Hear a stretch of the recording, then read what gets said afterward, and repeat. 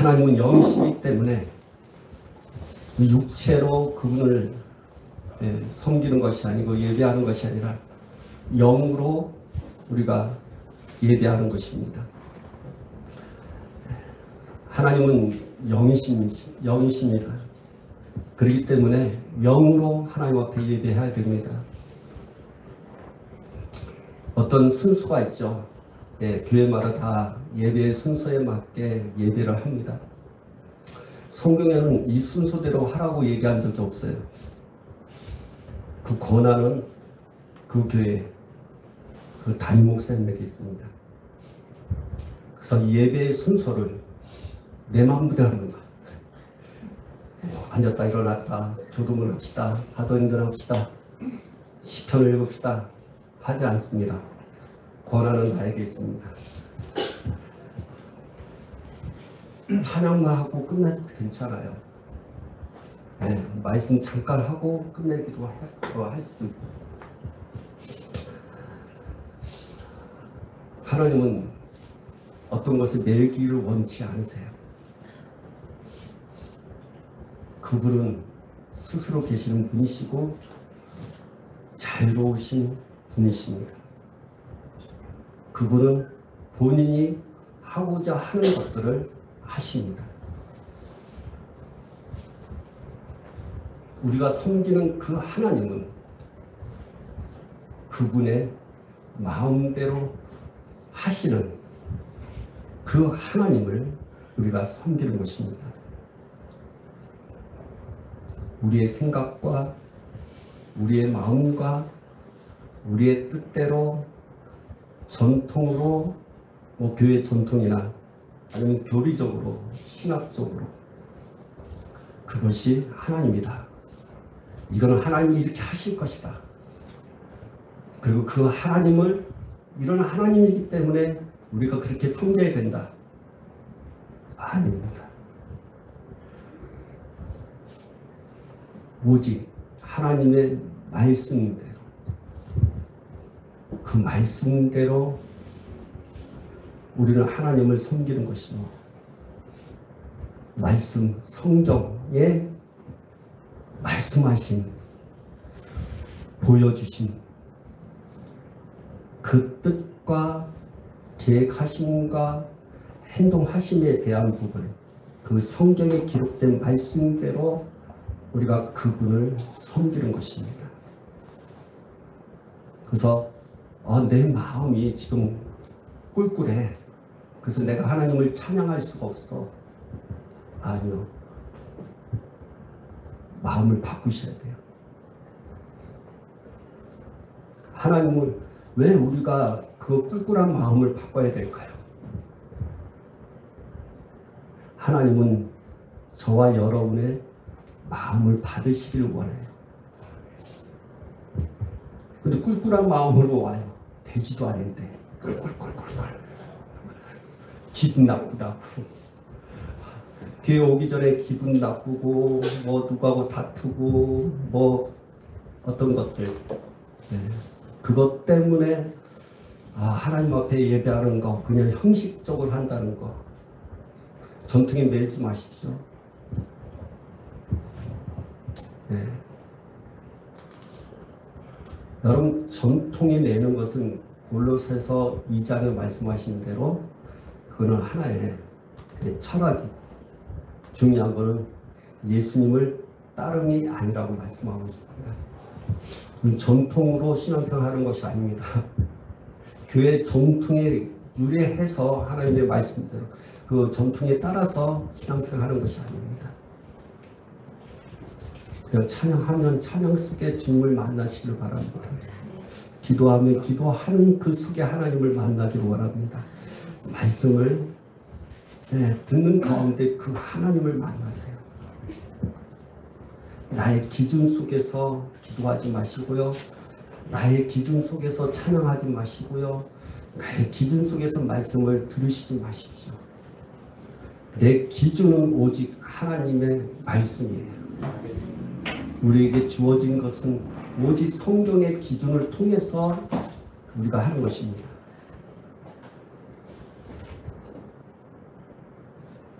그래서 여러분이 어, 찬양하는 것도 감사하는 것도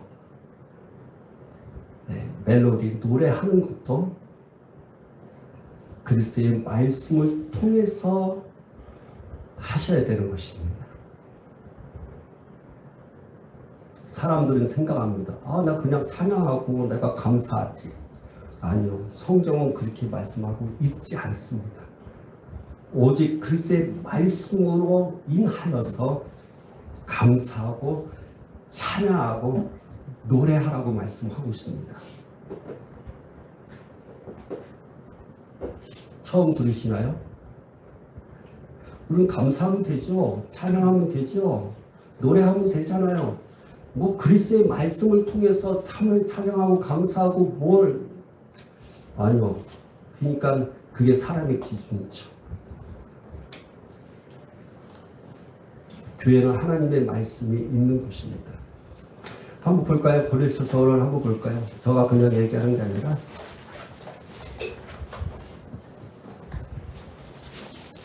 고린도서 3장 3장 16절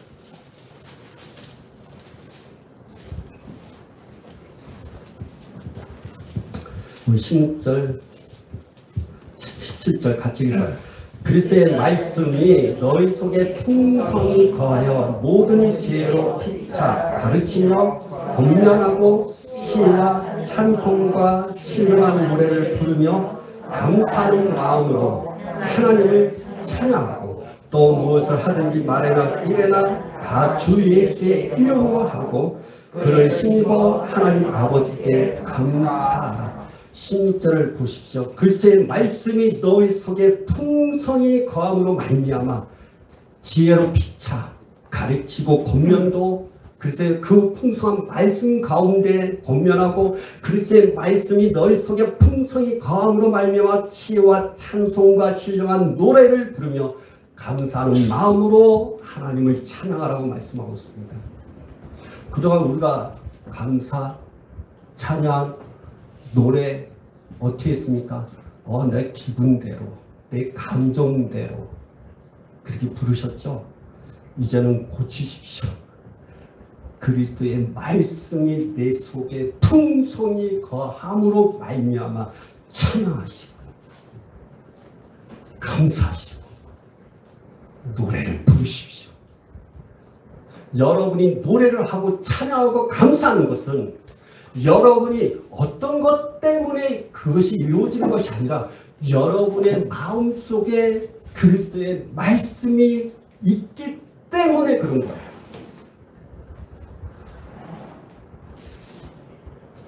왜 그런지 아십니까? 왜 그렇게 될 수밖에 없는지 아십니까? 여러분 부모를 통해서 육신적으로 여러분은 부모의 자녀이지만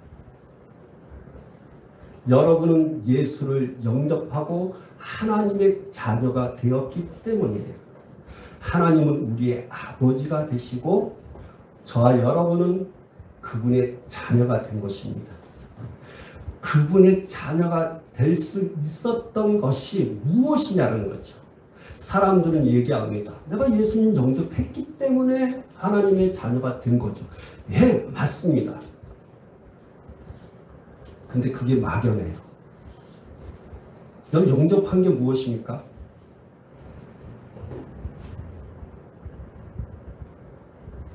여러분이 예수님 영접했을 때 무엇으로 영접합니까? 무엇으로 영접하시냐? 아, 나 예수 믿어. 그것을 영접합니까? 그럼 누구를 믿어야 돼요? 예수님. 그럼 예수님을 어떻게 믿어요?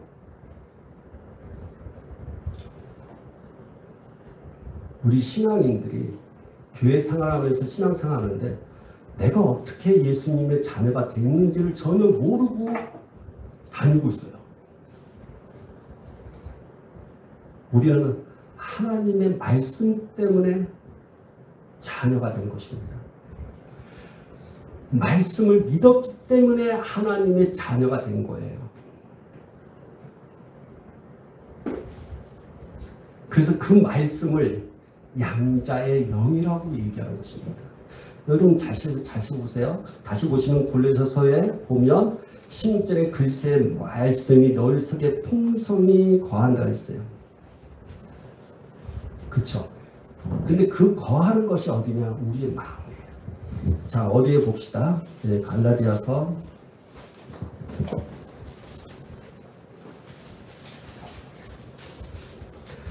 갈라디아서 우리 4장 6절 같이 읽겠습니다. 너희가 아들임으로 하나님이 그 아들의 영을 우리 마음 가운데 보내사 아빠 아버지라 부르게 하셨니까. 자 무엇입니까? 아들의 영을 어디에 우리 마음에 그 마음에 그 아들의 영을 부어줬을 때 그 그러니까 아들의 영을 우리 가운데 우리가 마음속에 아들의 영을 담았을 때 그때 하나님을 아버지라고 우리는 하나님의 자녀가 된 거예요. 영접하는 자, 곧 그 이름을 믿는 자들 하나님을 어떻게 해요? 말씀을 믿는 거예요. 그리스도의 말씀이 너희 속에 풍성이 거함으로 말미암아 그건 어떻게 됩니까? 우리는 새로운 피조물이 된 거예요. 자, 우리는 새로운 피조물이 됐어요. 새 사람이 됐다고 성경은 말을 하고 있습니다. 그래서 새로운 피조물은 그리스도의 말씀이 우리 안에 풍성히 거함으로 말미암아 우리가 노래도 감사도 찬양도 또 무엇 말에나 일에나 무엇을 하든지 간에 예수의 이름으로 할 것을 말씀하고 있는 이유가 여기 있는 것입니다. 여러분 안에 말씀이 있는 거예요. 내가 어떻게 예수님의 자녀가 됐어요? 하나님의 말씀을 믿는 거예요. 자, 로마서 10장. 왜 이 말씀을 하고 있냐? 그냥 막연한 거예요. 내가 하나님의 자녀가 된 거 그냥 예수 믿고 그건 맞은 거예요. 막연한 거예요. 막연하니까 어떻게 해요?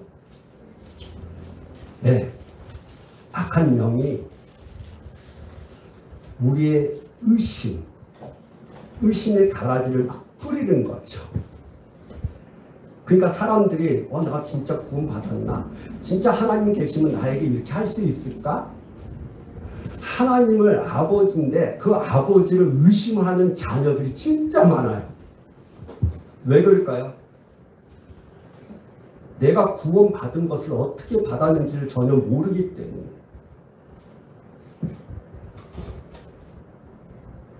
여러분, 여러분이 자녀가 되, 부모님 계시잖아요. 엄마 아빠가 됐을 때 처음에 막연합니다. 그러나 부모님의 하는 어떤 행동들이나 그 모든 삶을 보면 아 진짜 내 부모라고 얘기하죠. 아 이분은 내 부모야. 근데 그 부모가 가난해요. 나에게 뭐 맛있게 해주는 것도 아니고 나를 돕는 것도 아니고 다른 부모처럼 나에게 그렇게 자상하지도 않아요. 그때마다 어떻게 해요? 그것 때문에 때로는 부모에게 어, 엄마 아빠 그럴 수 있어요 라고 얘기하는 사람도 있지 못된 사람은 그러나 그렇지 않아요. 힘들고 어려워도 부모는 여전히 내 부모예요. 그와 같은 거예요. 확실한 것이 있을 때 하나님을 어떻게 해요? 내 아버지로 변함없는 아버지로 어떤 환경이 바뀌고 내 환경에 어려움이 있더라도 아니면 하나님께서 나를 많이 도와주지 않는다 하더라도 변함없는 것이 내 아버지 그분이 내 하나님이세요. 그 확실한 것을 여러분에게 지금 말씀하고 있는 거예요. 왜? 지금 저가 많은 분들을 상담하는데 이게 흔들리고 있어요. 어, 앞뒤가 안, 앞뒤가 안 맞는 말을 많이 하세요. 뭐냐면 하나님을 나는 내 하나님을 믿어요. 내 하나님을 믿고 나는 그 하나님이 살아계신 걸 알아요. 믿어요. 그런데요. 내가 힘드니까 그 하나님 좀 약간 그, 그렇게 얘기하시는 분이 있어요.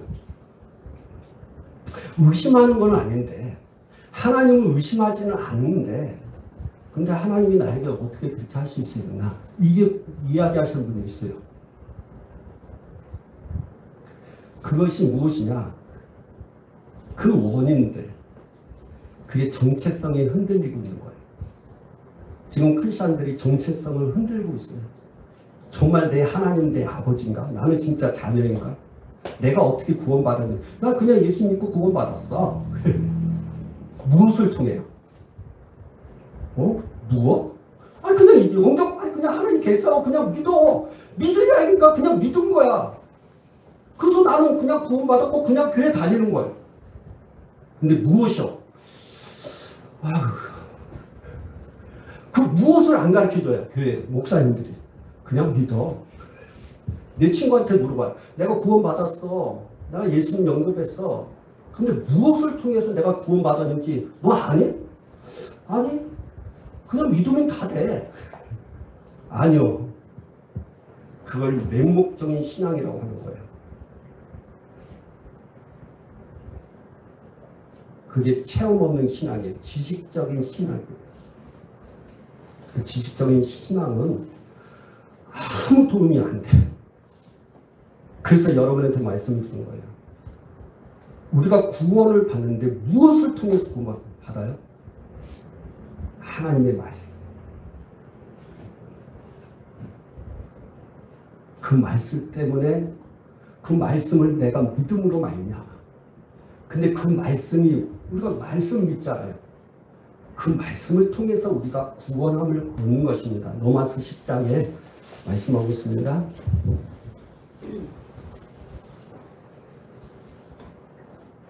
네, 9절, 10절. 내가 만일 내 입으로 예수를 주로 시인하며 또 하나님께서 그를 죽은 자 가운데서 살리신 것을 내 마음에 믿으면 구원을 받으리라.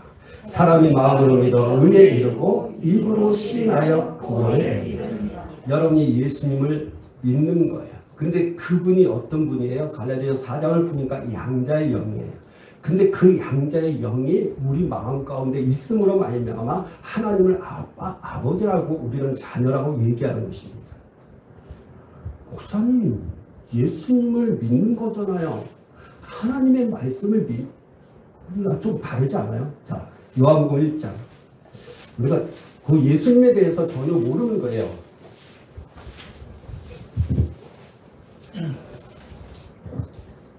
1장 1절과 2절 시작 태초에 말씀이 계십니다. 이 말씀이 하나님과 계셨으니 이 말씀이 곧 하나님이시라. 그가 태초에 하나님과 함께 계셨고 자, 이 말씀은 곧 하나님이라. 그러면 예수님은 어떤 분의 말씀이세요? 그 말씀이신 예수를 믿는 것이 우리가 구원을 받는 거예요. 근데 그분은 어떤 분이에요? 예수님은 말씀이세요. 우리의 이상으로 이성으로 이해가 되지 않아요. 근데 그 말씀이 육신이 대사 인간의 모습으로 왔다라고 말씀하고 있습니다. 예수님이 인간의 모습으로 온 것은 혈과 육으로 오신 것입니다. 그래서 예수님을 딱 보면 우리가 예수님 하면 어떤 생각을 하냐 혈과 육을 가진 육신의 그 예수만 머리를 떠오르는 거예요. 육신이 되시기 전에 그 이전에 하나님이 함께 계셨을 때 다시 말하면 태초 하늘과 땅 천지 만물이 창조되기 전에. 그래서 창세기 1장 1절에 태초에 하나님이 천지를 창조하시니라. 그거는 나중이고. 여기 1장 1절에 태초라고 하는 것은 영원 전의 태초를 말하는 것이에요. 천지 만물이 창조되기 전에 영원 전의 그 태초에 하나님 예수님은 어떻게 말씀을 계시는 거예요. 그 말씀이 되신 예수님이 인간의 모습으로 오신 거예요. 그래서 우리는 예수를 믿는 것을 무엇을 믿냐? 육신을 믿는 게 아니라 그 태초에 계신 그 예수, 말씀으로 계신 그 예수, 그 예수, 그 예수를 내가 받아들이는 거예요. 그래서 우리가 무엇을 통해서 구원함을 받아요? 우리는 그분, 예수를 통해서 우리가 구원함을 받는데 그분은 말씀이에요. 그래서 그분은 말씀을 내가 믿는 거예요. 여러분이 세상의 사람과 다시 말하면 믿지 않는 사람과 믿는 자의 가장 중요한 진짜 다른 것이 뭐냐? 그리스의 말씀이 있느냐 없느냐에 따라서 달라요. 뭐, 좀 약간 피곤한데 이게 잠깐만 떨려갖고. 네. 그래서 여러분이 아셔야 됩니다. 어, 불신자? 그 속에는 말씀이 없어요. 신자, 성도에게는 말씀이 있어요. 글쎄 말씀이 안에 있는 거예요. 그래서 하나님을 아버지라 부르고 나는 자녀가 되는 것입니다. 그래서 글쎄 말씀으로 살아가요. 성도는 하나님의 말씀으로 살아가는 것입니다. 저와 여러분 무엇으로 살아가요? 하나님의 말씀으로 살아가요. 그래서 여러분 말씀을 믿으셔야 되는 거예요. 말씀이 없기 때문에 말씀을 믿지 않기 때문에 세상을 이길 수가 없는 거예요. 아, 여러분 보십시오. 세상을 누가 창조했어요? 하나님 창조했어요. 무엇을 통해서 말씀을 창조했어요? 여러분요, 지금 여러분이 영과 혼과 몸으로 여러분이 인간이 지음을 받았어요. 여러분 꼭 아셔야 됩니다. 영적 세계는 그 영적 세계가 세계가 보이는 것은 지금 보이는 세계를 통해서 보이는 세계, 저와 지금 여러분이 보고 있는 이 세계는 그 영적 세계가 있다는 것. 그 영적 세계의 모든 것이 눈으로 보이는 거예요. 사실은. 여러분 사람은 영이잖아요. 하나님은 영이신 분이에요. 여러분 육체를 갖고 있죠. 하나님도 육체를 갖고 있었어요. 누구예요? 예수.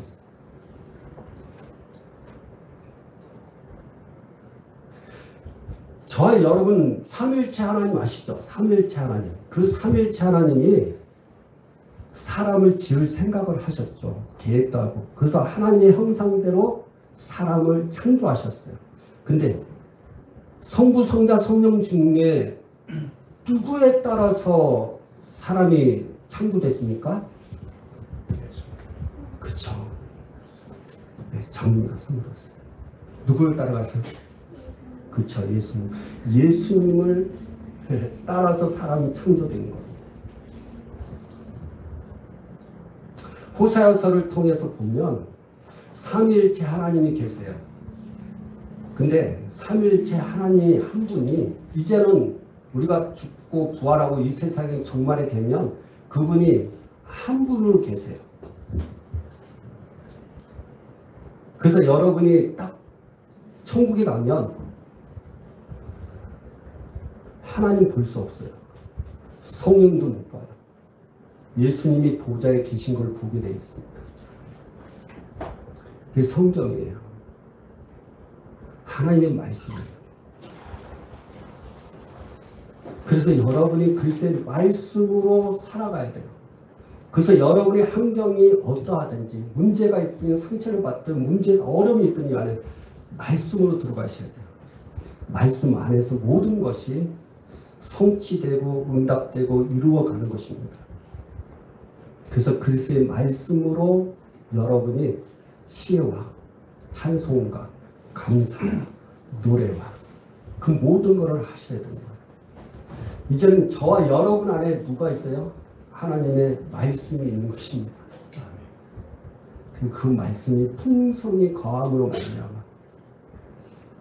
그래서 여러분은 모든 것이 그리스의 말씀으로 사는 것입니다. 아셔야 돼요. 근데 그분은 어디 계세요? 예수는 예수는 어디 계세요? 우리 죽고 부활하셔서 하나님의 우편 보좌에 앉아 계신다고 말씀하고 있습니다. 저기도 나오죠. 주 예수께서 말씀을 마치시며 하늘을 올려주사 하나님 우편에 앉으시니라 그랬어요. 아 예수님은 우리를 위해서 우편 보좌에 앉아 계셔서 우리를 위해서 계속적으로 중보기도 하는 분으로 생각하고 있어요. 아니요. 아니라 했을 때 그 보좌에 앉지 않는 거 어, 아, 앉고 있지 않습니까? 아니요 앉아 계십니다. 그러나 거기에 계속 앉고 있지 않아요. 여러분 그 의자에 보좌 하나님 우편 보좌에 계속 앉으시면 예, 그 생겨요. 여러분 의자에 많이 앉으면 생기잖아요. 주님 그렇지 않아요. 주님은 보좌에 앉으시는데도 지금 이곳에도 주님이 오셔요. 아니 목사님 어떻게 보좌에 앉은 분이 지금 여기 지금 이곳에 주님이 지금 오셔서 여러분과 함께 계십니다. 왜요? 그분은 전능하신 분이에요.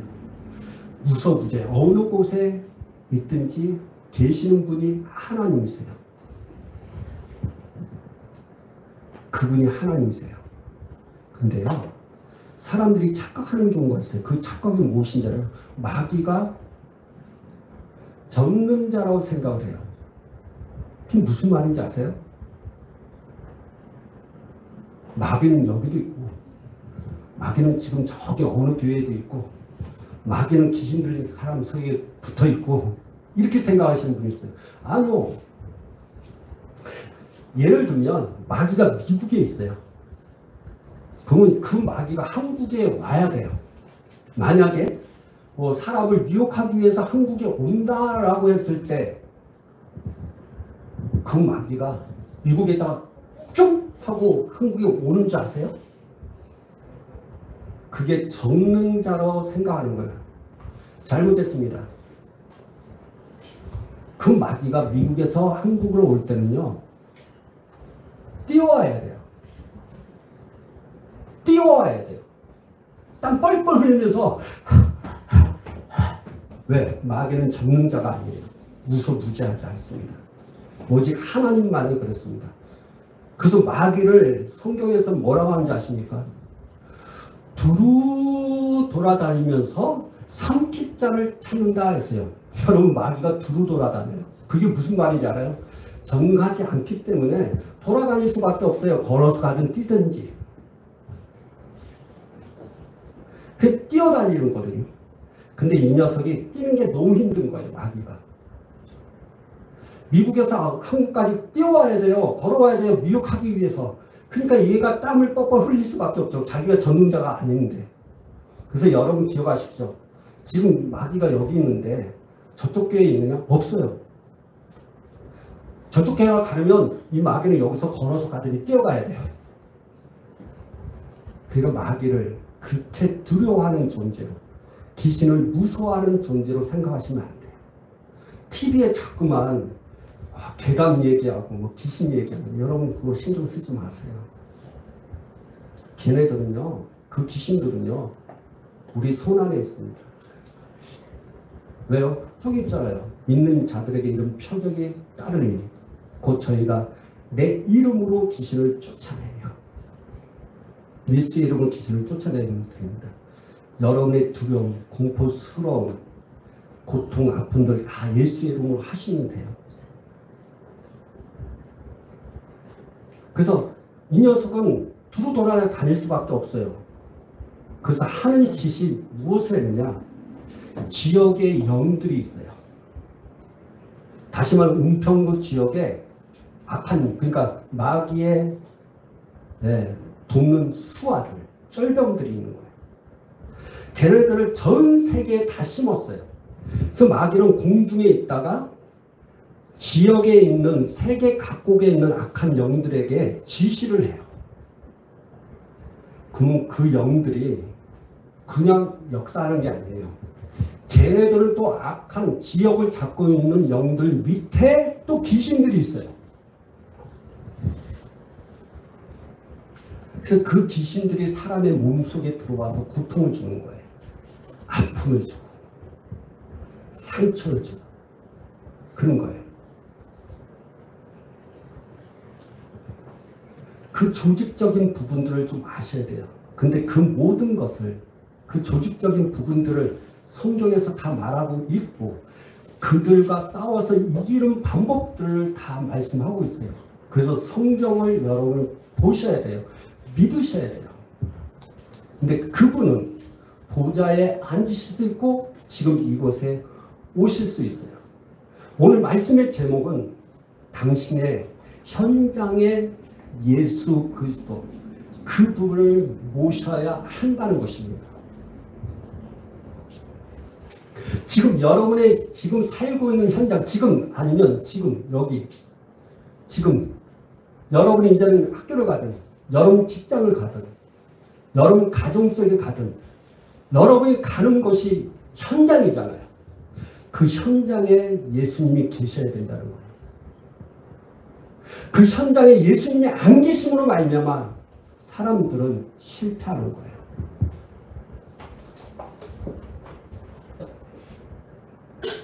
왜 지금 병이 치유가 안 일어납니까? 왜 하나님께 기도했는데도 불구하고 응답을 받지 못할까요? 저는 많은 분들이 저하고 상담을 해요. 목사님 내가 기도를 많이 하는데요. 응답을 못 받아요. 뭐가 변화가 없어요. 왜 그럴까요?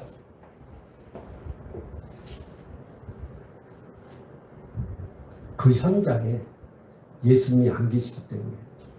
아, 목사님, 난 기도하고 있는데, 여러분, 그 기도가 그 현장으로 그 예수님을 불러오는 기도냐라는 거예요. 아, 당연히 기도하면 주님이 다 들어주시고 응답하시고 하지 않아요? 성경은 그렇게 말하고 있지 않기 때문에 제가 성경에 대한 부분을 그렇게 얘기했던 이유가 거기 있는 거예요. 신앙의 모든 문제의 해답은 하나님의 말씀밖에 없어요. 그 말씀을 들어가야 돼요. 그동안 우리는 기도하면 다 응답하시는 걸로 라고 생각하고 있는 거예요. 근데 기도했는데 응답 받으셨어요? 많이? 아, 그럼 뭐가 원인이 뭐예요? 저가 죄가 너무 많아서요?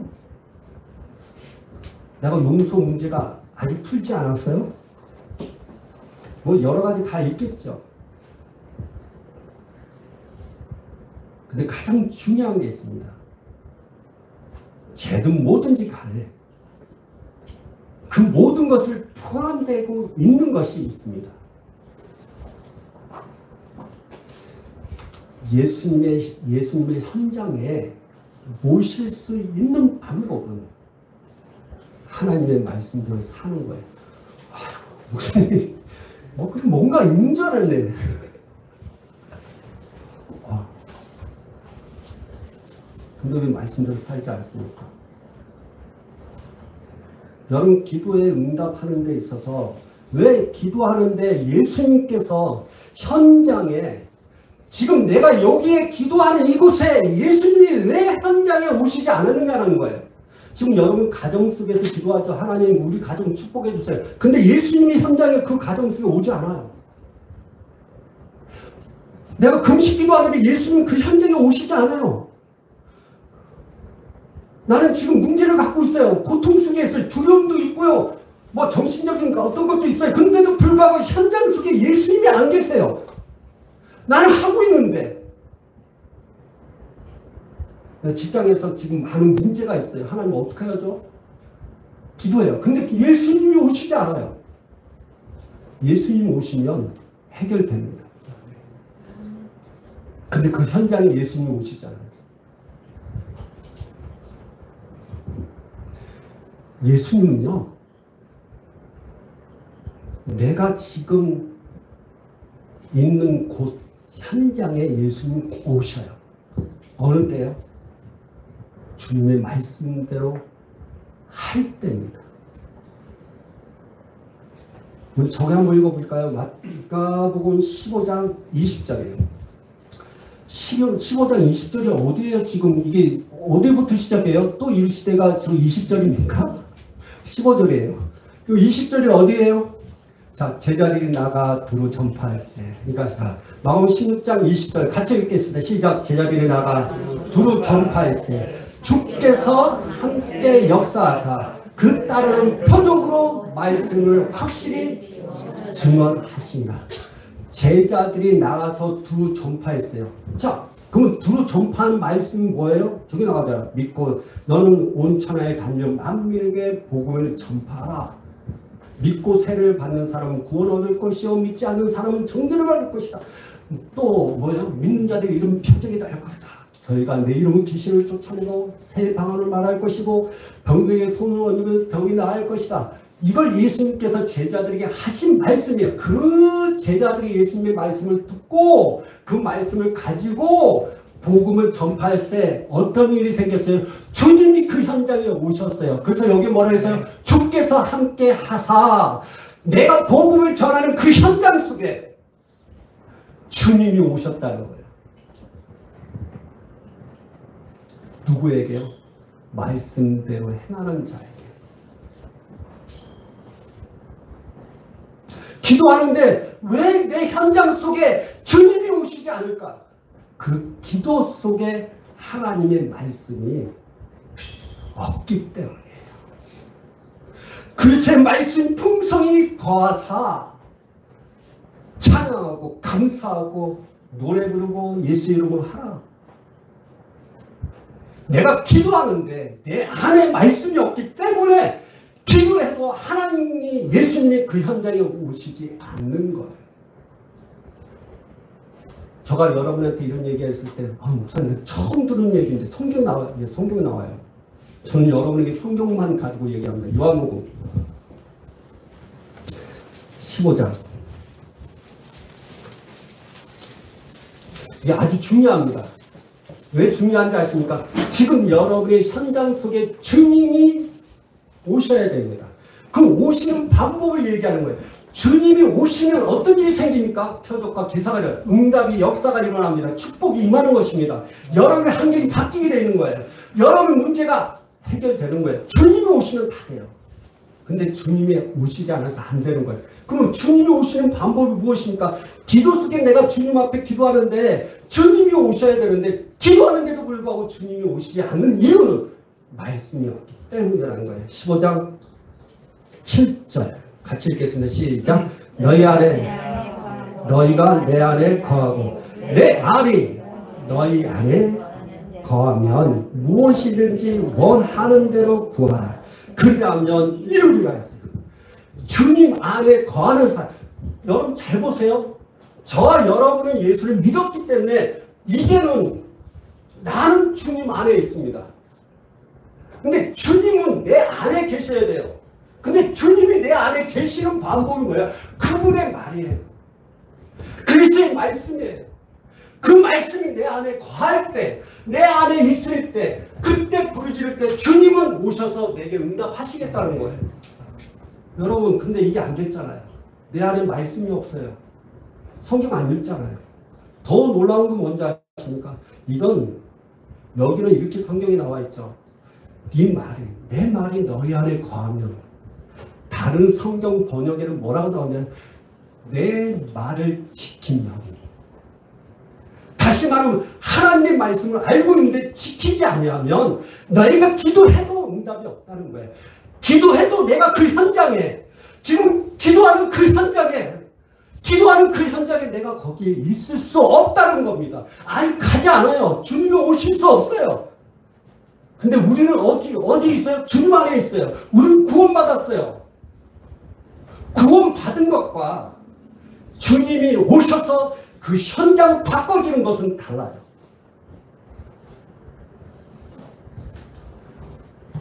내 안에 말씀이 있어요. 저는 하나님의 말씀을 믿어요. 그럼 여러분, 그 마음도 그러냐고요. 입으로는 믿어요.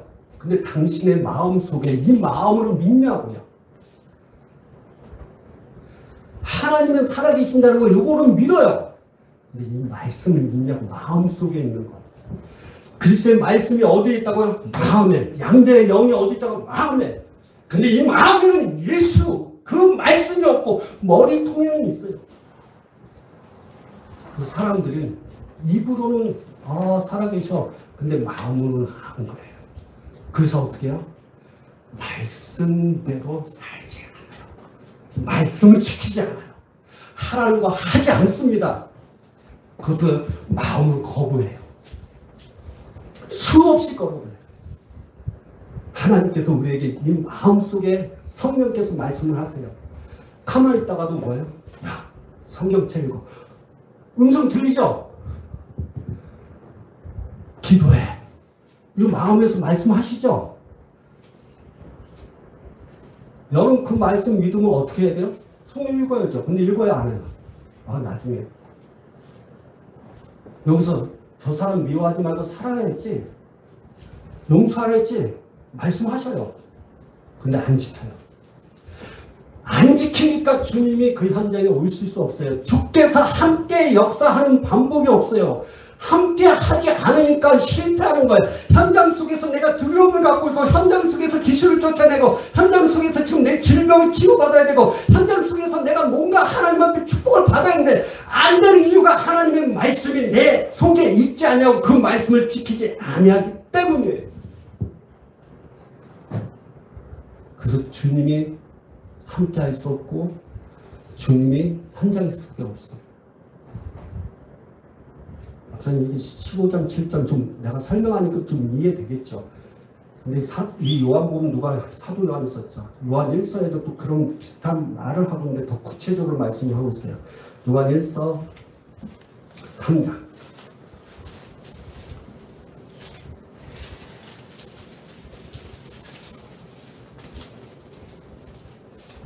삼장 22절, 24절 읽자. 무엇이든지 구하는 바를 그에게서 받나니 이는 우리가 그의 계명을 지키고 잘 들으세요. 우리가 주님 앞에 구하는 대로 그리고 잘 들으세요. 무엇이든지 구하는 바라 했어요. 우리는 목사님들이야. 아, 목사 하나님 저기 목사님 내가 이런 기도하는 게 하나님께서 원하시는 기도입니까? 주님의 뜻대로입니까? 여러분 주님의 뜻대로 기도하는 거죠. 여러분 어떤 사람이 그 이제 결혼 배우자를 놓고 기도하는 거예요. 내 내가 결혼할 남자는요 좀 연봉 한 2억 정도 받는 연봉 그런 사람 그리고 믿음도 좋고 연봉도 돈도 많고 믿음도 좋고 돈도 많고 목사님한테 찾아왔어요. 목사님 믿음 좋고 연봉 2억짜리 남편을 내가 결혼하고 싶어요. 이 주님의 뜻대로 하는 겁니까? 아니면 뜻의 기도입니까? 아닙니까? 목사님 뭐라고 했어요? 목소리를 딱 어, 그거는 주님의 뜻대로 기도하는 거 아니야. 그럼 믿음 거래. 무슨 연봉이 여기야. 성경에 나왔을 때 야, 제한된 기도를 하라고 했습니까? 무엇이든지 구하라고 했습니까? 결혼하고 싶은 연봉 2억짜리 놓고 기도하십시오. 근데 중요한 게 있습니다. 응답은 주님의 손에 있는 거예요. 구하는 건 여러분의 마음이에요. 2억이든 10억이든 상관없어요. 근데 하나님이 주시면 줘요. 근데 안 주시면 안 줘요. 그러니까 여러분 구하는 건 마음껏 구하는 건 마음껏 근데 주님이 말씀하십니다.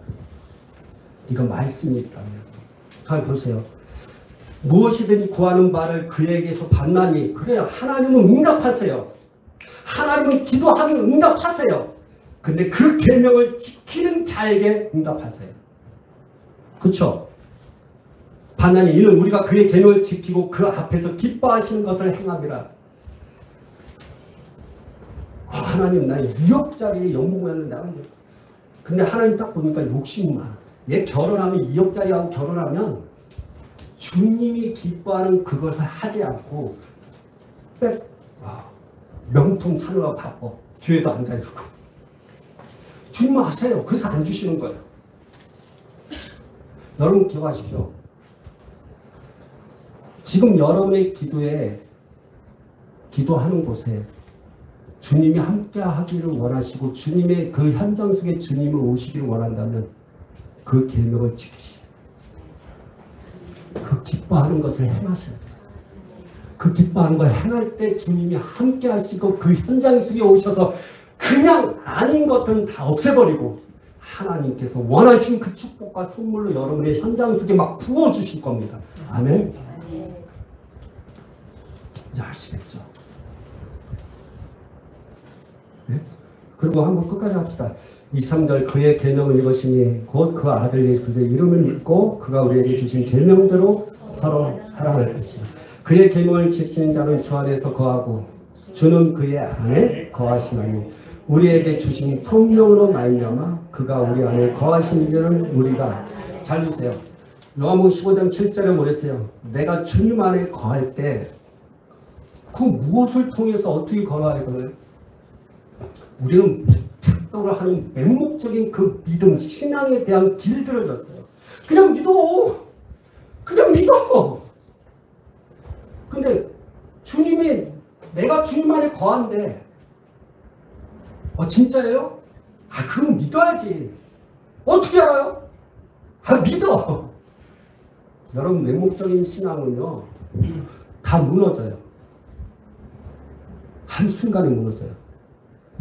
정확하게 얘기하고 있잖아요. 24절에. 계명을 지키는 자가 그 안에 거하는 거예요. 그래서 계명 안 지키면 어떤 일이 생겨요? 말씀대로 행하지 않으면 어때요? 그분이 기뻐하는 그걸 행하지 않으면 어떻게 해요? 그분 안에 거할 수가 없어요. 그냥 구원받은 거는 돼요. 잘 들으세요. 구원받는 것이 그분 안에 거하는 방법도 되고 또 안에 그분이 내 안에 계시는 방법도 되지만 진짜 그 현장 속에 살아계시고 나와 진짜 교제를 나눌 수 있는 것.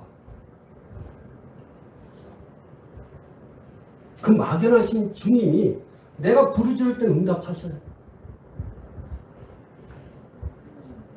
내가 주님 찾을 때 주님 오세요. 왜요? 그분 안에 거하기 때문에. 여러분 구원받아서 구원 이게 아셔야 돼요. 주님이 구원받은 자로서 함께 할 자가 있고 우리가 말씀을 지킴으로 말미암아 함께 할 자가 있어요. 내가 예수 믿음으로 말면 그분 안에 거하는 자가 있지만 내가 순종함으로 말미암아 거하는 자가 있어요. 차이가 뭔지 아세요? 막연함의 차이예요.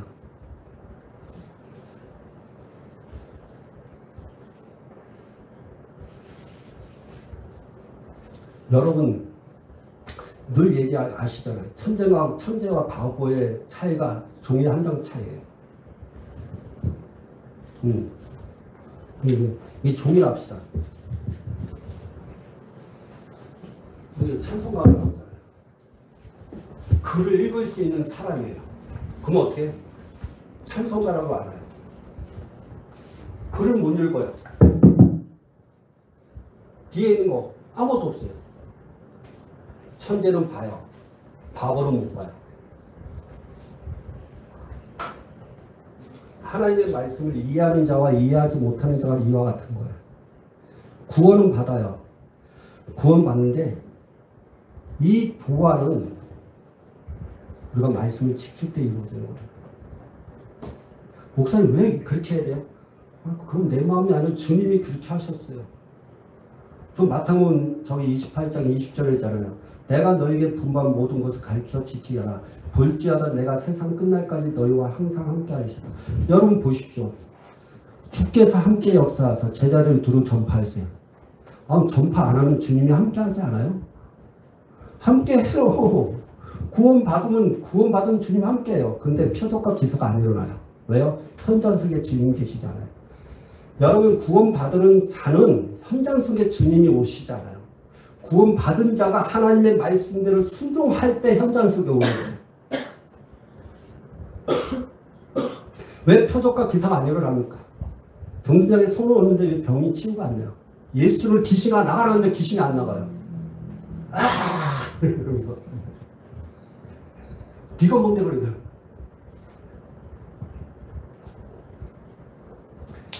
여러분 이걸 아셔야 돼요. 지금 제가 여러분에게 말씀드리는 것은 구원 받았냐 안 받았냐 이런 차원이 아니라 구원 받은 자로서 주님이 함께하고 지금 현장 속에 주님이 오셔서 여러분의 환경을 바꿔줄 수 있고 기도하는데 응답하시고 역사하시는 이 모든 것들을 그 현장 속에 예수님이 오시도록 하는 것에 대한 부분을 얘기하는 거예요.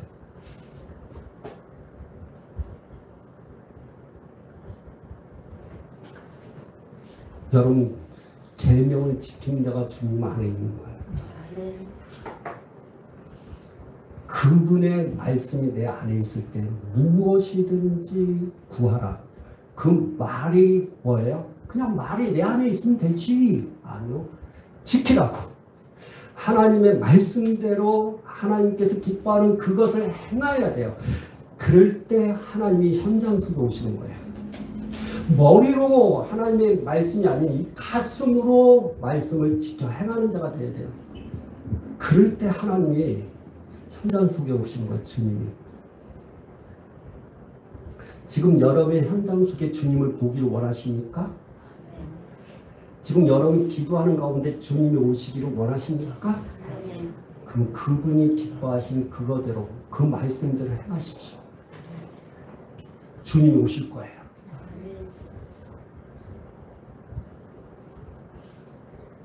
주님 오셔요. 그래서 이런 얘기하는 거예요. 내 기도에 그 기도를 하는데도 불구하고 주님이 현장 속에 오시지 않고 그 기도가 하나님 앞에 들으실 때 얄미운 기도가 있어요. 여러분 기도가 얄미운 기도 있어요? 기도하면 다 응답된다고 하셨으니까 기도하면 되는데 그 기도가 얄미운 하나님께서 아주 여러분 싫은 사람 있죠 얄미운 사람 자기는 절 대안 하면서 나보러 하라는 사람 하는 행동이 진짜 미워 근데 기도하는 사람들 가운데 하나님 앞에 그렇게 하는 사람이 있어요 그래서 주님이 오실 수 없어요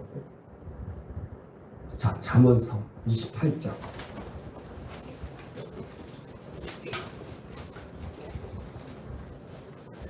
목사님 좀 오래 하는 것 같으면 아니요, 이거 보고 끝낼 거예요. 네.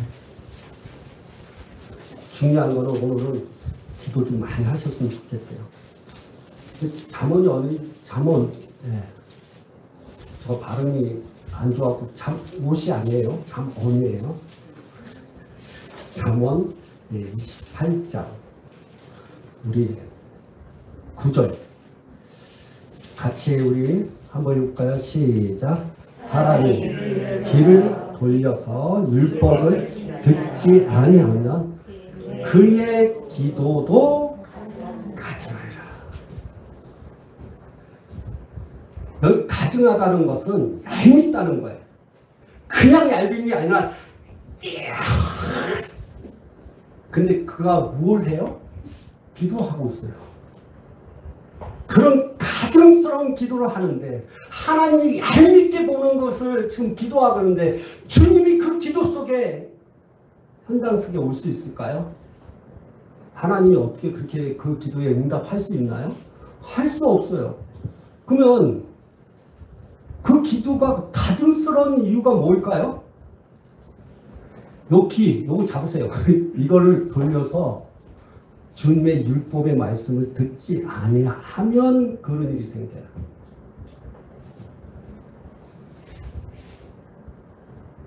자, 여러분이 지금 누구의 말을 듣고 있어요? 사람의 말을 듣- 듣고 있어요. 아, 어, 어, 세상의 말을 듣고, 음, 음, 어, 그 성경에서 벗어난 말을 듣고 있어요. 어, 그럴 때 어떻게 해야 돼요? 빨리 길을 돌리세요. 어, 기도하고 하나님 말씀으로 돌리셔야 돼요. 여러분 하나님의 말씀을 여러분 여기 보면 아니 목사님 내가 하나님 율법을 들으래요. 들으면 되잖아요. 여러분 성경은 들어야 되는 거예요. 들어야 돼요. 시작이 듣는 거예요. 그렇게 어떻게 해요? 듣고 마음으로 깨달아서 행동하는 거예요. 내가 마음으로 깨달은 것과 행동하는 데 있어서 듣지 않고는 절대 할 수가 없어요.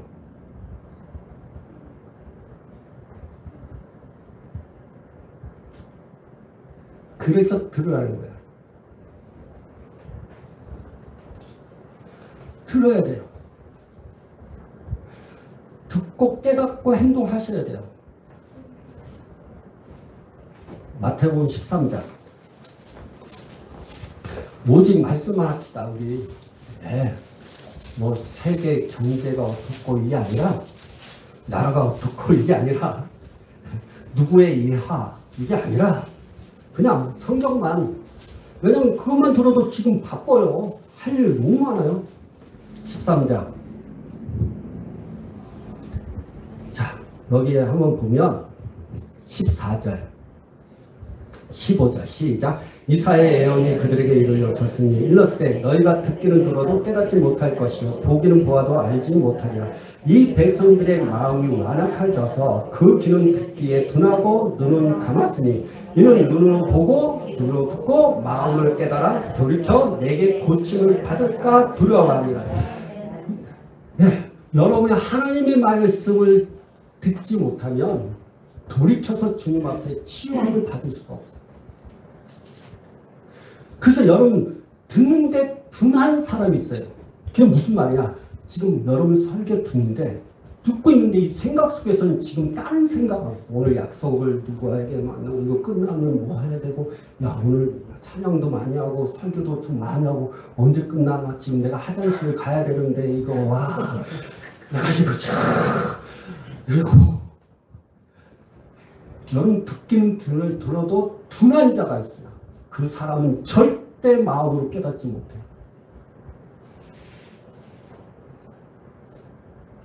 이 둔한 상태에서 뭐래요? 촤! 그러니까 주님이 진짜 가증스러워. 그 말씀대로 살지 않으면서 기도하니까 하나님이 가증스러운 거예요. 얄미운 거. 여러분 이걸 아셔야 돼요. 그럼 어떻게 돼요? 그의 기도가 하나님 앞에 상달되기 위해서 또한 주님께서 내 기도 가운데 현장 속에 있기를 원한다면 주님의 말씀을 들어야 되고 그 말씀대로 살아야 돼요. 그래서 여러분 말씀 들을 때 꼭 해야 할 것이세요.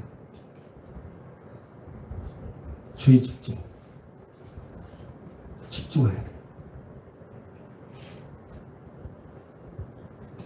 군인들에게 제일 먼저 집중하게 하기 위해서 제일 먼저 하는 것이 뭔지 아십니까? 전체 차 그래요. 그 다음에 뭐예요? 말할 때는 뭐예요? 자, 영주공샤 들어야 거예요. 집중하기 위해서 뭐예요? 전체 차 하나님의 말씀을 들을 때는요, 집중하셔야 돼요. 그리고 그 말씀에 경청하기 위해서 좀 편안한 자세를 가져야 되는 거죠. 근데 집중하잖아요. 그러니까 역사할 수가 없어요. 지금 여러분의 삶 속에 하나님께서 역사하는 걸 경험하지 못하고 있다면 내 하나님은 내 아버지인데 왜 그렇게 역사하지 않을까? 라고 한 이유는 다른 게 아니에요. 저는 수없이 많은 분들이 저한테 얘기하는 건 목사님과 방언기도 엄청 해요. 3시간, 5시간 많이 해요. 매일 해요. 근데 왜 역사가 안 일어나죠? 내게 왜 이렇게 감동함이 없죠? 하도 그래갖고 지금 말씀으로 얘기하는 그분들하고 말씀을 어떻게 가르칠 수 없으니까 말씀을 가르치는 거예요. 지금 그것뿐 아니라 여러분도 마찬가지예요. 지금 여러분 현장에 주님이 계세요? 계시면 좋죠. 말씀대로 순종합니다. 근데 말씀대로 순종하지 않으면 지금 현장 속에 주님은 계시잖아요. 주님이 함께 할 수가 없어요. 그래서 여러분에게 기적이, 표적이, 응답이, 축복이, 변화가 없는 거예요. 그게 여러분의 삶이 아니에요. 여러분 예수 믿는 사람들이 하나님의 자녀다운 삶이 무엇인지를 몰라요. 그래서 하나님의 자녀다운 삶이 뭘까? 여러분 뭐예요? 그냥 말씀대로 사는 거예요. 근데 말씀대로 사는데 그렇게 살아가서 그 말씀대로 사는데 왜 병 걸려요? 왜 병이 있어요? 여러분 주님이 병 고쳐 주신다고 하셨어요. 아, 하나님의 자녀다운 삶 알아요. 근데 왜 가난해요? 그건 있을 수 있어요. 여러분이 하나님의 말씀대로 살지 못해서 돈을 잃어버리든지 뭐 하는 건 있을 수 있어요. 근데요, 왜 가난할까요? 주님이, 여러분 이걸 아셔야 돼요. 주님이 우리를 위해서 가난케 되면 우리를 부욕해 하니라. 언제 예- 예수님이 그랬잖아요. 고린도 후서에 나오죠. 예수님이 가난케 되시면 우리를 부욕해 하십니다. 그 구절을 알아요. 그런데 언제 가난해졌어요, 예수님이? 생각해 보셨어요? 우리 예전에는 배웠는데 언제 가난했어요? 그렇죠. 예수님께서 공생애 동안에 나는 머리 들 것이 없다. 그때 가난했거든요. 그 가난케 되면 우리를 위해서 부욕해 함이에요. 근데 왜 가난해요? 그게 그리스도의 다운 삶이에요? 아, 글쎄 내가 예수 다운 삶, 내가 자녀의 삶이 이제 점점 헷갈리죠. 그동안의 그리스도의 다운 예수님의 자녀다운 삶이 그냥 종교적인 거예요. 신앙적이고요. 그게 무슨 말인지 알아요? 종교적이라는 건 그분이 내 현장 속에 역사하는 것이 없는 아프면 그냥 병원 가면 되지. 가난하면 뭐 돈 벌면 되지. 그게 그리스도인의 삶이냐고요. 아니. 그리스도인의 삶은 첫 번째 저주에서 축복으로 바뀐 삶이 그리스도인의 삶이에요. 기억하세요? 지금 내가 축복받지 못하고 저주받고 있다. 그러면 그리스도의 삶이 아니에요. 그건 내가 하나님의 말씀대로 살지 않았다는 증거입니다. 말씀대로 살면 그 저주는 떠나갑니다. 축복이 우리의 것이에요. 그리스도의 삶이 그렇습니다. 두 번째가 뭔지 아십니까? 가난해서 부여해지는 것이 그리스도인의 삶이에요. 내가 예수 믿었다. 근데 내가 가난하다. 그것은 내가 하나님의 말씀대로 살지 않았기 때문에. 살면 부여해집니다. 부여해져요. 꼭 부여라는 개념이 뭐, 와, 이게 아니에요. 그냥 먹고 살아도. 그 돈 때문에, 여러분, 돈 많은 사람도 스트레스 받아요. 암 걸리잖아요. 돈 많아도. 스트레스라는 건, 그래요. 우리는 그걸 떠나서, 가난은 예수 믿는 자의 모습 아니에요. 세 번째, 그리스도의 예, 자녀의 삶이 무엇입니까? 질병에서 자유. 질병에서 자유하는. 병이 있으면 안 돼요. 뭐 내가 잘못해서 뭐 그 부분이 있어요. 내가 몸 관리 못한 거는 그럴 수 있어요. 아니 여러분 몸참 한숨도 안 자고 매일 한 달 동안 잠 안 자봐요. 당연히 병 걸리지. 해롱 해롱 해롱 할 거예요. 그거 말고 내가 몸도 관리하고 내가 그래도 평소에 잘하고 있으면 병 걸릴 일 없어요. 병이 걸려도 중요한 걸 아셔야 됩니다. 병이 걸려도 치료 받습니다. 우리 자궁암 걸린 사람 두 사람 치료됐잖아요. 끄떡끄떡 하시는 분 있어요. 걸려도 치유돼요. 왜? 그리스도인의 삶이에요. 자녀의 삶이에요. 네 번째가 뭔지 아십니까? 뭐 저주 안에서 있지만 세대 간의 흐름, 다시 말하면 부모의 그런 어떤 잘못된 것 때문에 내가 오는 것 있잖아요. 그 유전적인 거라 하죠. 그거 다 끊어져요. 그거 없어야 돼요. 그리스도인의 자녀, 자녀의 삶은 이와 같은 거예요. 저주가, 가난이, 질병이. 여러분, 아니, 목사님, 이게, 이게 다요. 다죠? 왜요? 여러분, 지금 나가서 당신에게 있어서 가장 큰 소원이 무엇입니까? 네, 건강이요. 또 돈이요. 또 지금 내 삶에 잠깐만 가난의 저주가 와요. 대물, 대물림의 저주. 그게 없었으면 좋겠어요. 인생에 있어서 이 세 가지는 뗄 수 없는 거예요. 근데 그거를 주님이 떼게 하셨다는 거예요. 예수님이 떼게 하셨다는 거예요. 예수님이 가난을 다 떼게 하시고, 예수님이 저주를 다 떼게 하시고, 예수님이 여러분의 질병을 다 떼게 하셨다는 거예요. 여러분이 주님 앞에, 주님, 그 현장 속에, 가난의 현장 속에 주님을 모셔요. 부여해질 겁니다. 질병의 현장 속에 주님을 모셔요. 질병이 떠나가게 될 것입니다. 저주의 현장 속에 여러분 주님을 모세요. 그러면 저주가 떠나가게 돼 있습니다.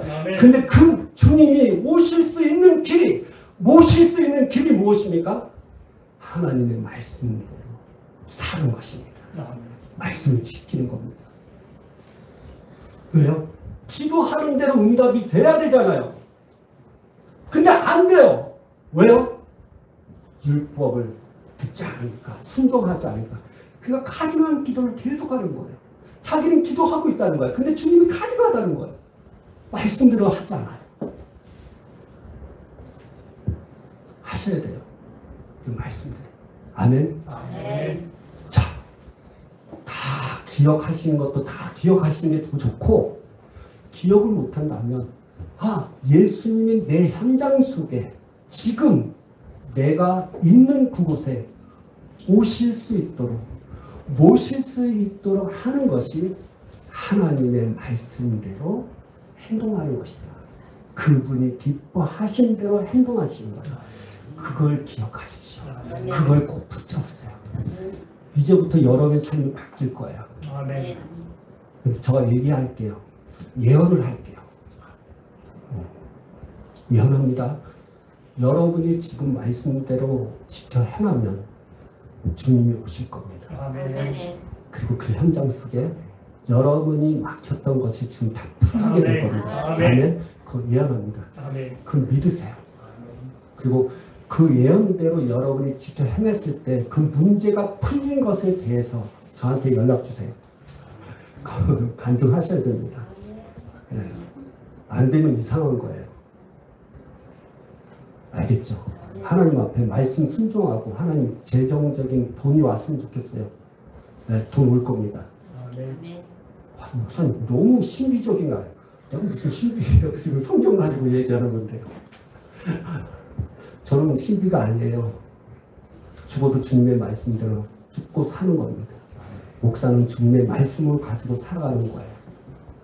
밥벌이가 하나님의 말씀밖에 없습니다. 아멘. 자, 이 시간 우리 하나님 앞에 기도합시다. 하나님, 참 잘 몰랐습니다. 내가 왜 가난했는지. 아, 내가 뭔가 하러 가는데 일이 안 돼요. 취직도 다안 되고요. 어, 뭐가 이- 막혀 있어요. 어, 가정도 좀 그렇고요.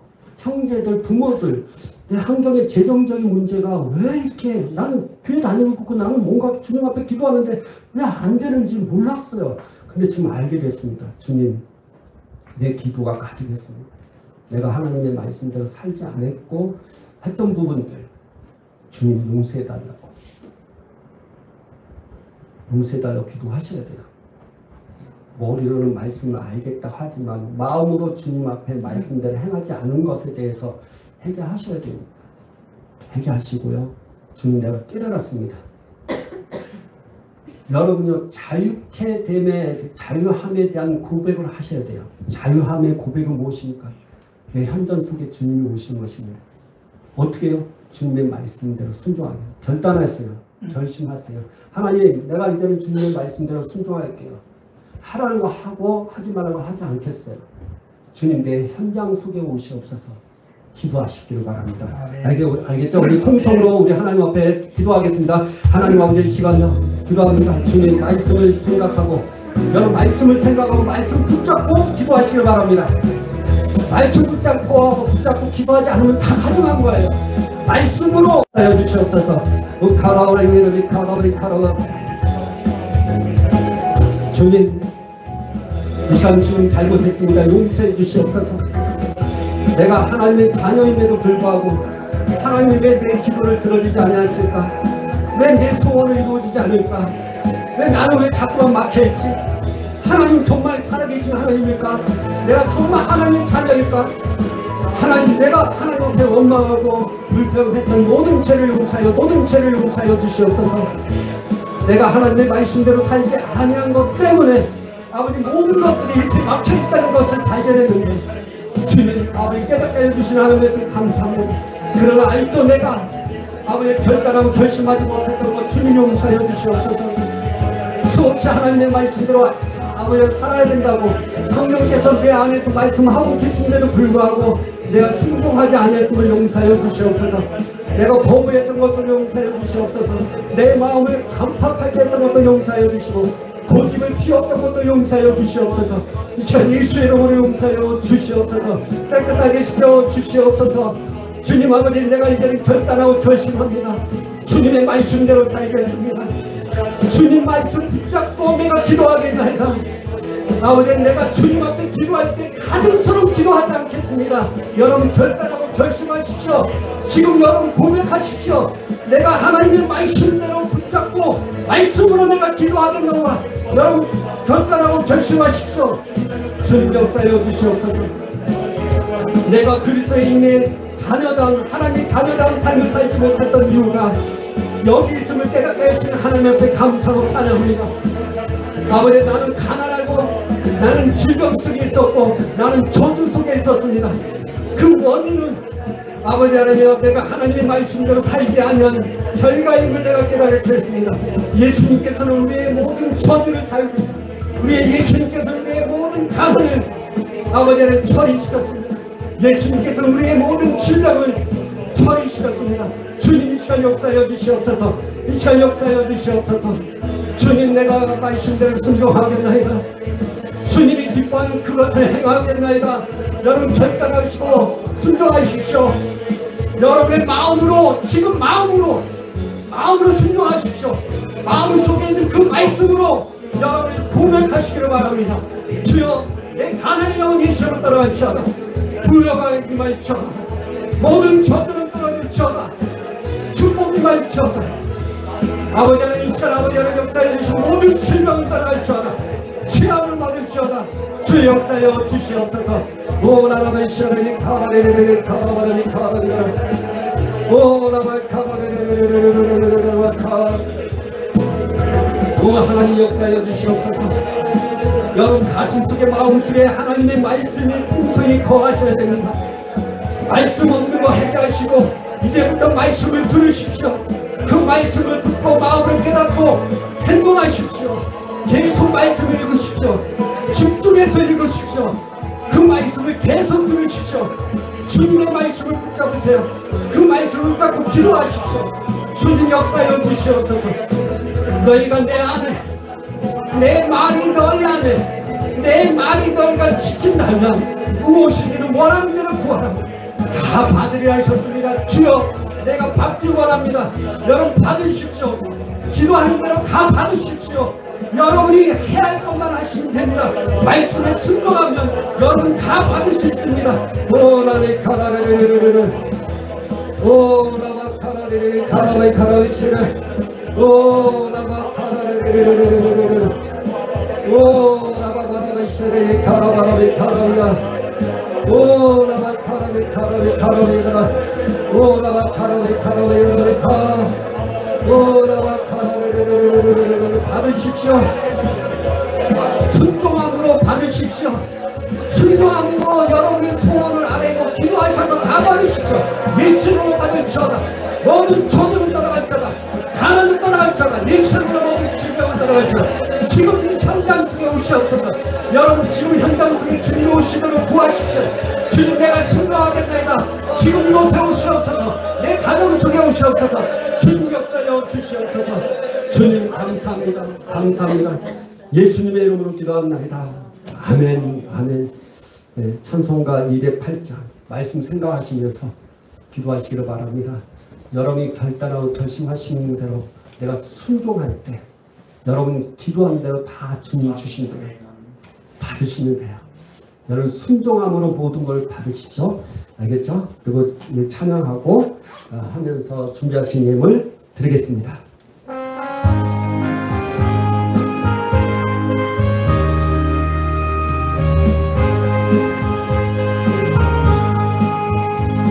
예수 내 맘에 들어와 계신 평하여 새 사람 되고 내가 늘 바라던 참빛을 찾은 곳주 예수 내 맘에 오신 그 말씀이 주 예수 내 맘에 오신 아멘. 주 예수 내 맘에 오신 늘 믿던 내 맘에 기쁨이 넘치는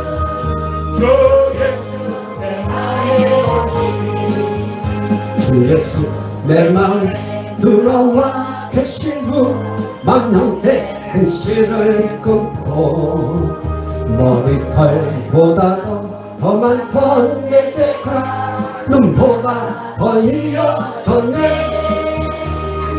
주 예수 내 맘에 내 맘에 주 예수 내 맘에 오신 내 맘에 기쁨이 넘치는 주 예수 내 맘에 오신 내 맘에 소망을 든든히 가지는 주 예수. 내 맘에 오신 우신의 구름이 사라져버리고 주 예수. 내 맘에 오신 주 예수 주 예수 내 맘에 내 맘에 오신 주 예수 내 맘에 오신 늘 믿던 내 맘에 기쁨이 넘치는 주 예수 내 맘에 오신 사막의 음침한 골짜기 바깥 밝은 빛 보련히 보고 저 멀리 하늘문 환하게 보인도 주 예수 내 맘에 주 예수. 예수 내 맘에 지금 여러분 마음에 오십니다. 현장 속에 지금의 현장 속에 주님이 오십니다.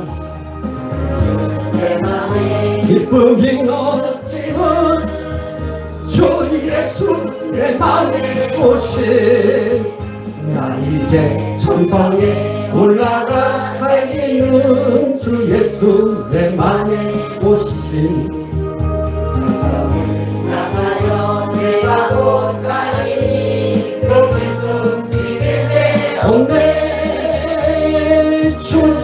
주 예수 내 맘에 주 예수 내 맘에 오신 늘 믿던 내 맘에 기쁨이 넘치는 주 예수 내 맘에 오신 기도하겠습니다. 살아계신 역사하신 하나님 아버지 주님이 지금 이곳에 오심을 믿습니다. 주님 내가 말씀에 순종하겠나이다. 오시옵소서. 이 현장 속에 오시옵시고 내 환경 속에 오시옵시고 내 문제 속에 오시옵시고 내 가족과 내 가정 속에 오시옵소서. 주님 내가 순종하겠나이다. 내가 기도하는 대로 다 받기를 원합니다. 주님 역사하여 주시옵소서. 예수 이름으로 역사하여 주시옵소서.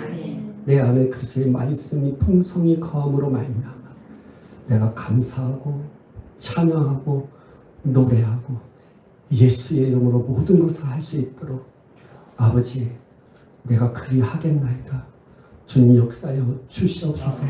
이 시간 주님 앞에 예물 드렸습니다. 이 예물 받으시옵소서. 정성을 다하여 이 예물을 드렸습니다. 받으시옵소서. 주님의 말씀에 순종하면서 드렸습니다. 받으시옵소서. 그 말씀대로 순종했사오니 주님 드려지는 그 심은 대로 걷게 하여 주시고 백배 천배 만배로 하여 주시옵소서. 예수 이름으로 다 거둘지어다. 가난의 저주는 지금 예수 이름으로 다 들어갈지어다. 이 시간에 내 물질을 훔쳐가는 모든 악한 영들, 더러운 귀신들 지금 내 사업과 내 직장과 내가 하는 일에 있어서 다 떠나갈지어다. 아멘. 오직 물질이 올지어다. 부욕케 하신 그 예수님의 역사하심이 지금 임하- 아, 임하게 하여 주시고 역사하여 주시옵소서 아버지 하나님 채무의 영은 예수 이름은 다 떠나갈지어다 빚이 다 사라지게 하여 주시고. 또 아버지 내가 실수를 한다 하더라도 또한 몰래 나의 그 물질을 훔쳐가는 모든 물질들은 다시 예수 이름을 명령하니 돌아올지어다. 돌아올지어다 물질은 돌아올지어다. 예수 이름으로 임할지어다. 주 역사하여 주시옵소서. 함께하여 주시고 은혜 주시옵소서. 지금 아버지는 질병 속에 있으니까 예수 이름으로 치유받을지어다 모든 질병 예수 이름으로 다 떠나갈지어다 치유받을지어다 다 나을지어다 주 역사하여 주시옵소서. 정신적인 질환을 갖고 있고 공포와 두려움 속에 있으니까 다 예수 이름으로 명하노니 다 떠나갈지어다 아멘. 평강이 말지어다 주의 역사하여 주시옵소서. 아멘. 아버지 가정에 복을 주시고 자녀들의 형통함을 주시옵소서. 자녀들의 진로가 아버지 하나님 열리게 하여 주시옵소서 성적이 높아지게 하시고 좋아지시고 또한 친구들을 잘 아버지 하나님 사귈 수 있도록 주께서 역사하여 주시옵소서. 청년들은 청년인대로 주님 붙들어 주시고 은혜 베풀어 주시옵소서. 아멘. 주님 함께하여 주실 줄 믿습니다. 주님 아름다운 께 복을 주시고 은혜 베풀어 주시고. 주님의 말씀대로 순종하는. 그냥 귀한 교회 될 수 있도록 주께서 역사하여 주시옵소서.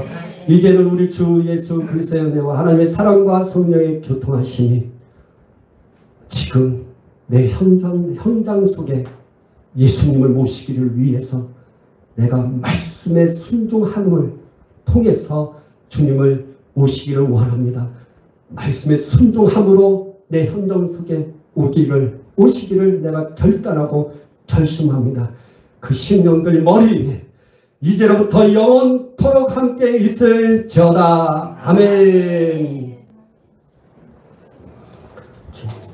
예수님의 이름 기억나이다. 아멘. 버튼이 또 잘못되었고 자 광고 말씀드리겠습니다. 음, 이런 태풍이 좀 올라온다 하는데 여러분이